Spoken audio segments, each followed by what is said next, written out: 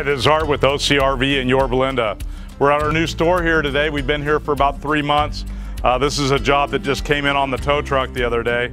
Uh, it took on a Chevy Impala head on, did all this damage to this truck, believe it or not, and the people in the Impala were okay.